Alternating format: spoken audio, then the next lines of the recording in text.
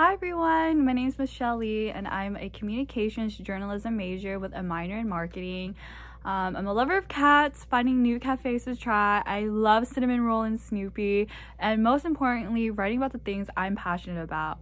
I've always been interested in joining AAJA, but due to conflicting class times or other um, things such as work or other clubs, um, I wasn't able to come out, but I hope to change that. Um, I'm applying to be the social media manager and I would love to be able to improve the position. As a past PR representative and president of the Japanese American Social Cultural Club called NSU, I've been experienced in these areas. I love designing graphics and coming up with new ways to keep social media engaging and fun for members. I believe as a social media manager, you're the bridge of communication between board members and general members. I'm confident that I'll be able to deliver high quality work for AAJA. My goal is to be more active in my major, especially now that Asian American journalists have a space to connect and share uh, the same stories and struggles. I hope you guys got to learn a little bit more about me and thank you so much for your time.